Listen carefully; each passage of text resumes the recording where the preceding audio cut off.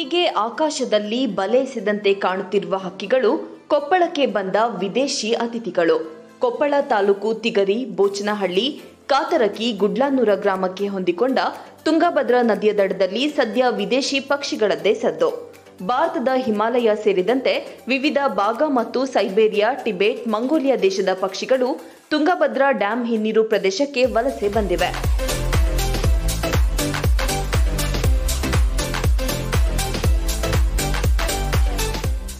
ಸಾಮಾನ್ಯವಾಗಿ ಈ ಪಕ್ಷಿಗಳು ಡಿಸೆಂಬರ್ನಲ್ಲಿ ವಲಸೆ ಬಂದು ಸಂತಾನೋತ್ಪತ್ತಿ ಮಾಡಿಕೊಂಡು ಹೋಗುತ್ತಿದ್ದವು. ಆದರೆ ಈ ಬಾರಿ ಹೆಚ್ಚು ಮಳೆಯಾಗಿದ್ದರಿಂದ ತುಂಗಭದ್ರಾ ನದಿ ಸಂಪೂರ್ಣ ತುಂಬಿ ಹರಿದಿತ್ತು. ಹೀಗಾಗಿ ಈ ಹಕ್ಕಿಗಳು ಜನವರಿ ತಿಂಗಳಾಂತ್ಯಕ್ಕೆ ಇಲ್ಲಿಗೆ ಬಂದು ಸ್ವಚ್ಛಂದವಾಗಿ ಹಾರಾಡುತ್ತಿವೆ. ಸರಸ ಸಲ್ಲಾಪಗಳಲ್ಲಿ ತೊಡಗಿಕೊಂಡು ಪ್ರಣಯ ಜೋಡಿಗಳಾಗಿ ವಿಹರಿಸುತ್ತಿವೆ.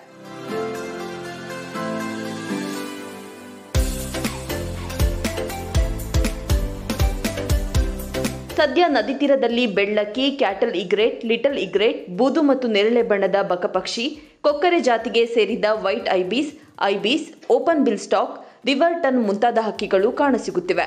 ಮಾಗಿ ಚಳಿಯ ನಡುವೆ ಹಕ್ಕಿಗಳ ಚಿಲಿಪಿಲಿ ಕಲರವ ತುಂಗಭದ್ರಾ ನದಿಯ ಸೊಬಗನ್ನ ಇನ್ನಷ್ಟು ಹೆಚ್ಚಿಸಿವೆ.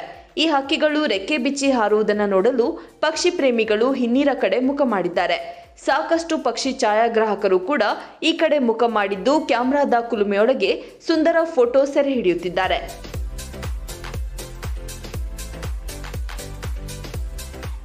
ತುಂಗಭದ್ರಾ ಹಿನ್ನೀರ ಪ್ರ, ಪ್ರದೇಶದಲ್ಲಿ ಪ್ರತಿ ವರ್ಷನ ನಾವು ನವಂಬರ್ ಮತ್ತು ಡಿಸೆಂಬರ್ ಕೊನೆ ಭಾಗದಲ್ಲಿ ನಾವು ಈ ವಿದೇಶಿ ಹಕ್ಕಿಗಳನ್ನು ನಾವು ನೋಡ್ತಿದ್ವಿ.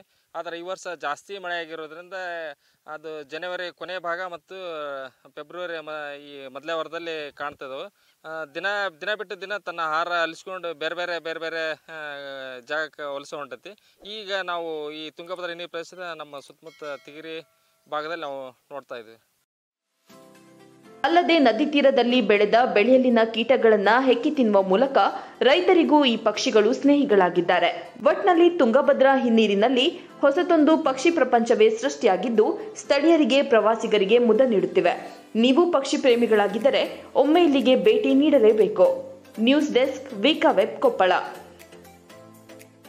ನಮ್ಮ ಕೊಪ್ಪಳ ತಾಲೂಕು ತಿಗರಿ ಗ್ರಾಮದ ತುಂಗಾಭದ್ರಾ ನೀರಿನ ಪ್ರದೇಶದಲ್ಲಿ ವಿದೇಶದಿಂದ ಅಕ್ಕಿ ಬಂದಿರ್ತಾವಲ್ಲ ರೀ ಅವನ್ನ ನೋಡ್ತೀವಿ ನಾವು, ಬಂದು ಹೊಳೆ ಹೊಳೆ ಸರಿ ಮುಂದೆ ಭಾಳ ನಾನಾ ಥರ ಅಕ್ಕಿಗಳು ಇಲ್ಲಿ ನಮ್ಮ ಹೊಳೆ ಹತ್ರ ಬಂದಿರ್ತಾವೆ ರೀ ಅವು ತಾವು ಕೂಗೋದು, ಅವು ನಾನಾ ಇದು ಬಗೆ ಬಣ್ಣ, ಎಲ್ಲ ಇದು ಮಾಡ್ಕೊಂಡು ಗೆಳೆಯರ ಜೊತೆ ಬಂದು ನೋಡ್ತೀವಿ.